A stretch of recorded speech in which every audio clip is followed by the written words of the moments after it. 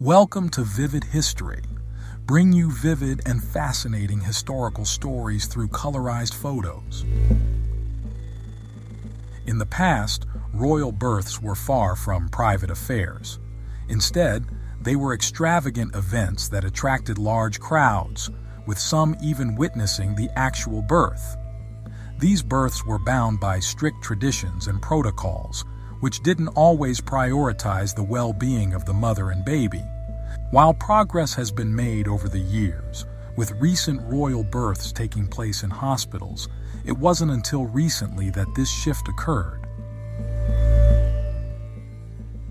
In centuries past, when a royal lady was known to be pregnant, plans were set in motion for the birth, including a royal procession to the birthing chamber.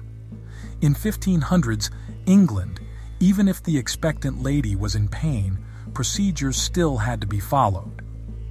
The mother-to-be would attend a special mass and then hide away from the public eye in a process known as lying in. In centuries past, royal births were far from private affairs. Crowds would gather around the bed, not out of fascination, but to ensure that the baby presented as the heir to the throne was not swapped for a changeling.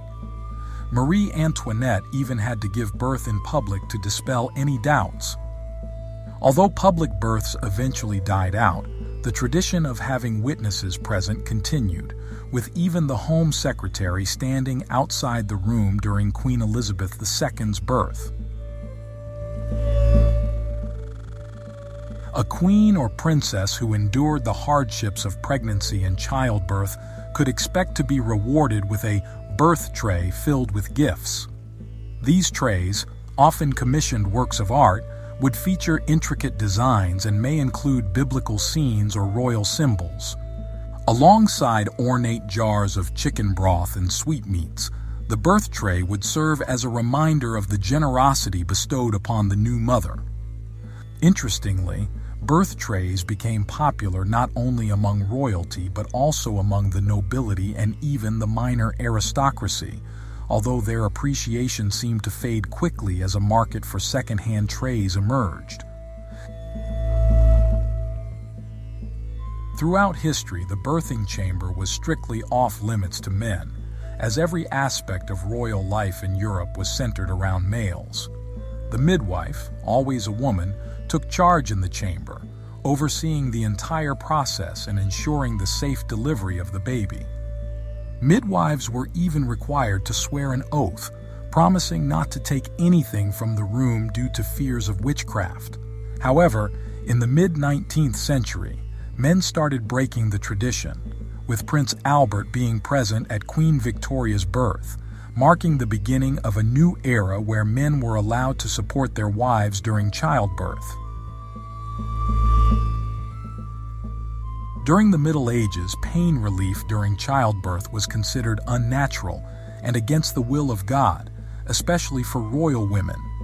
In fact, a woman was once burned at the stake for daring to request pain relief during a difficult birth.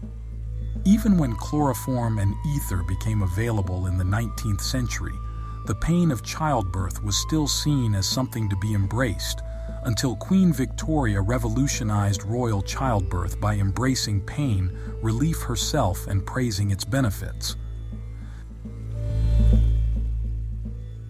In centuries past, giving birth was not only painful but also potentially deadly for royal women. They would often marry young and have multiple children, with no real break in between. The risks were so high that they were advised to write a will and ask for God's protection.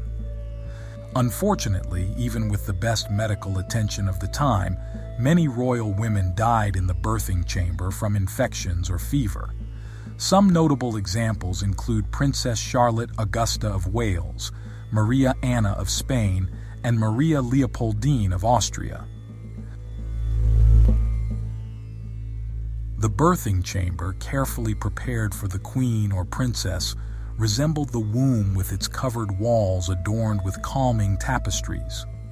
Windows remained covered to keep out fresh air and natural light, as they were believed to be harmful. Superstitions dictated that everything closed be opened, from cupboard doors to knots and hairpins, to ensure that all energy flowed outward. Efforts were made to ensure the baby's gender by influencing the expectant mother's imagination. Queens and princesses were encouraged to think about having baby boys, with calming and male-dominated images surrounding them. Once the royal baby was born, the sex would be immediately announced, and witnesses would confirm it, ensuring no secret replacements. The birth of the new prince or princess would then be publicly announced. During the 16th century, a drink called caudle was believed to prevent deaths during childbirth. This unpleasant concoction made from eggs, cream, porridge, and alcohol was seen as a way to keep a woman's strength up and help her cope with the pain of labor. It was also taken after the birth to restore a new mother's strength and guard against infections.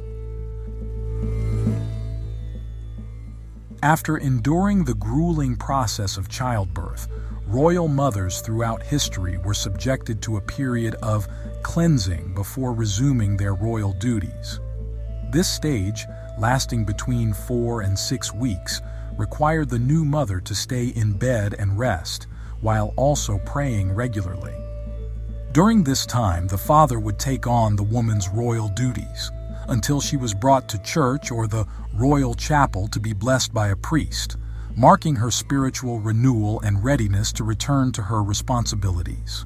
Queen Victoria of England also experienced this tradition, although by her time it had become more of a symbolic tradition than a superstition.